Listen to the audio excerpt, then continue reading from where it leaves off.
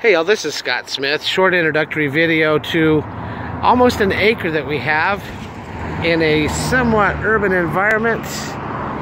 Um, 0.969 acres. You're about a mile from Mueller. You've got a nice palette here.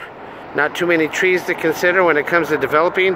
If you'd like more information about this or to see a longer video, let me know and I'll get that over to you. Scott Smith, your East Austin Realty expert. 512-740-0324. This one's zoned MF2, 23 units per acre. We should talk.